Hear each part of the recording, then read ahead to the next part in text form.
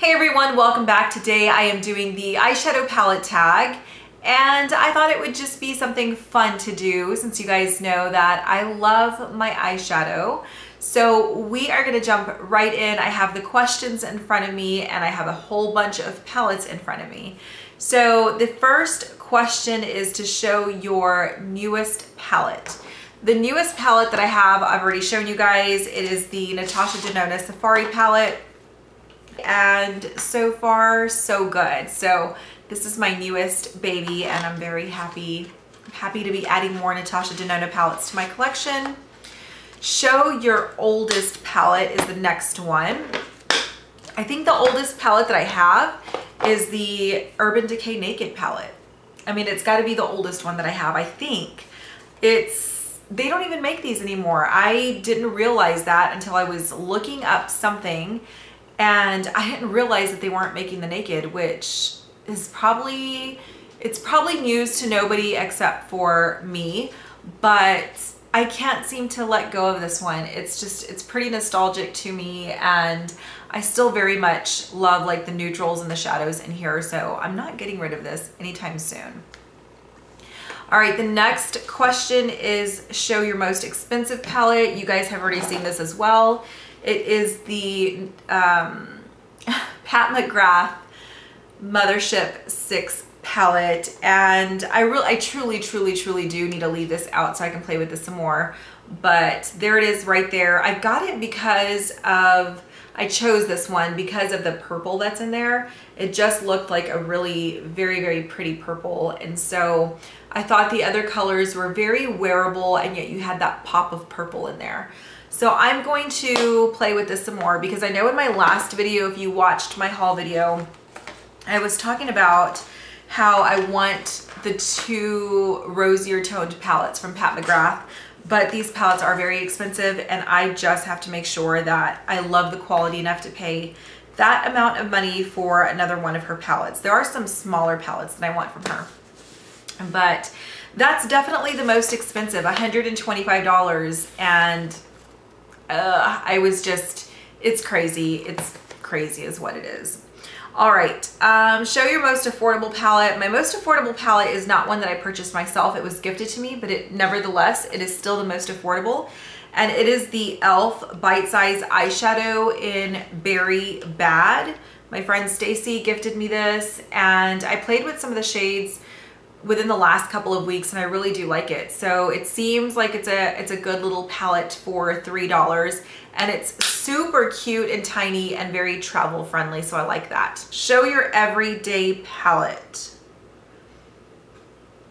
Oh, I don't think I pulled that. Hold on, let me see. My everyday palette? I don't think I have an everyday palette because well, I guess I can combine this one with your most used palette, which is the last question on here. But when I think an everyday palette, I just think of something that you can grab without thinking too much about how to use the colors in there and what you're gonna use. And so for me, that is the Too Faced Chocolate Bar palette. I love this palette so much. So it's definitely my most used and it would be like my go-to everyday palette. I have used this so much and I feel like this is a palette that if I ever happen to run out of a few of my favorite shades, I would totally repurchase this palette. That's how much I love it. I think that no matter your level of makeup knowledge or experience, this is a really fun palette to have because you can use everyday colors. You can do a, you know, you have a little bit of pink and purple in there, just a little bit, but it's not crazy. They're not crazy colors. And you can also create a smoky eye out of this. There is the chocolate bar palette. You have some beautiful, beautiful gold and again, that little pink and purple.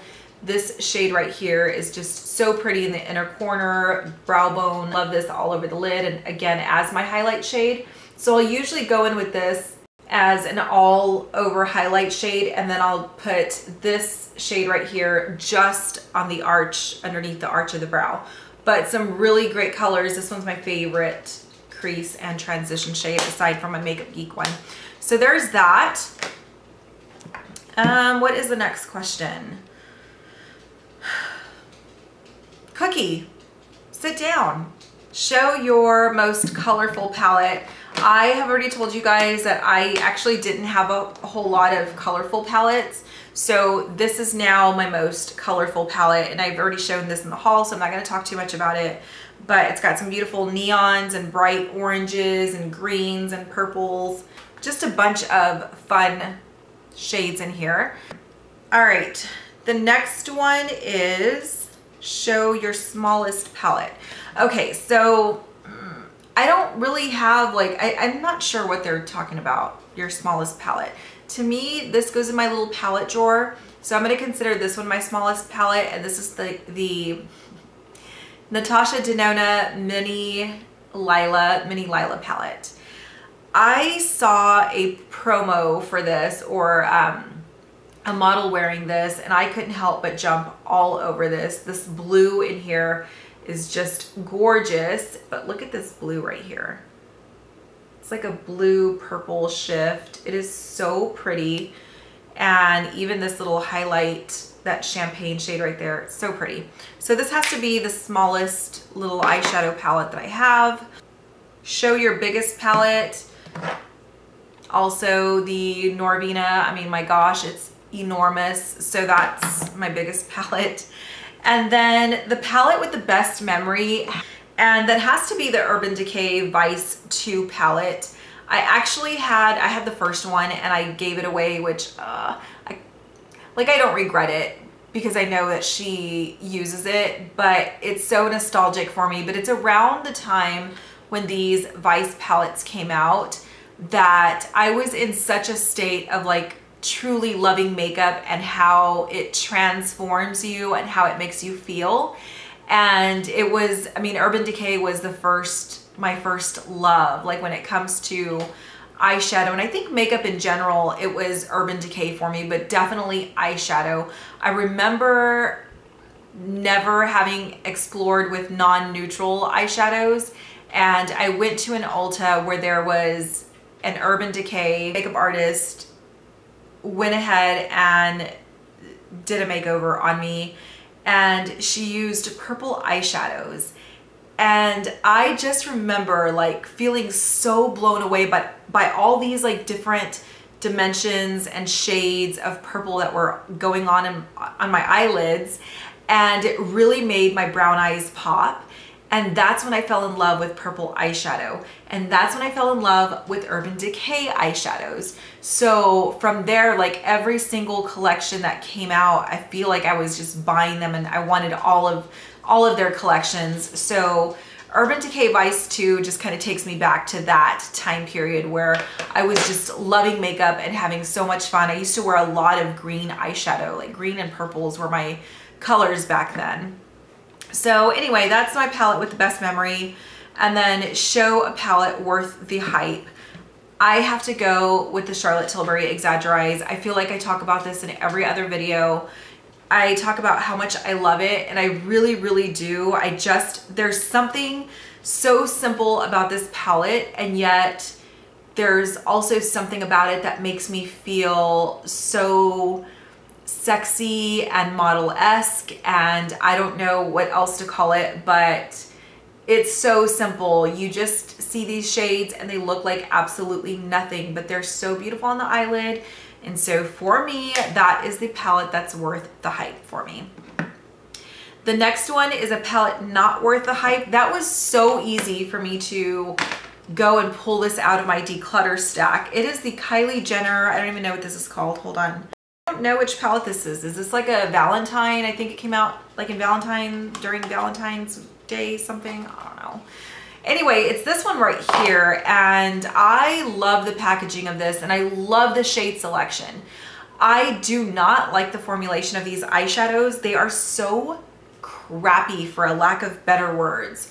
So these are the shades right here and I, you know, at that at this time when I purchased this one, I didn't have like a whole lot of pinks at all in my collection. And I liked, again, that you had some neutrals. You have that really pretty, I want this shadow to work so bad. Um, this one is Romance. It's like a pinky purple shade and it looks good there. It's just the formulation on the eyelids is just not great. I don't feel like my palette blends out really well. The shimmers are not very good. It makes my eyelids look crepey and old, but I absolutely love the shade selection. I just, I do not like this palette. I have tried so many times to make it work and I just don't like it.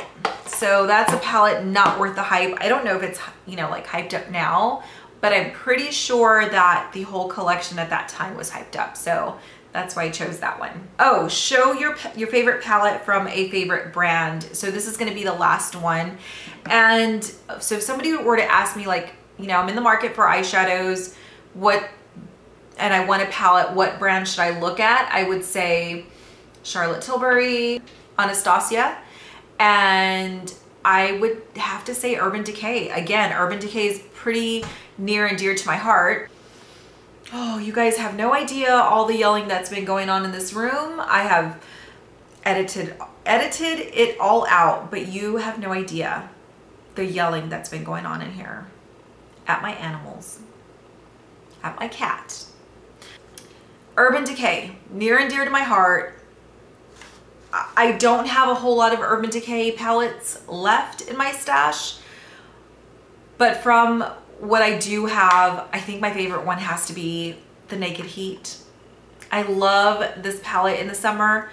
For some reason, I, I really, really reach for it in the summer. But, I mean, look at these. They're like these orangey, rusty, beautiful tones, which, I don't know, some might argue that these are fall shades. I don't know. I don't really care. I just love it so much. I love this palette. It's so beautiful. I don't have another palette that has like this exact, you know, shade range here and those shum those shimmers, the shimmer shimmers. I was looking at a shade called Lumber um, because I was going to talk about that one. But those shimmer shades, I mean, Lumber, Scorched, God, Dirty Talk is gorgeous. He Devil.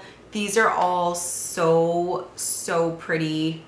If you don't have this palette and you've been sitting on it, I would ask you why you're sitting on it because it's gorgeous. It's just, it's so beautiful. So there you go. That is the eyeshadow palette tag. I hope that this was fun for you to watch, even though you've seen me talk about a ton of eyeshadows. But um, yeah, I'm gonna tag anybody else who wants to do this and I hope that you're doing well. I hope you're having a good day or night and I will see you very soon in another video. Bye.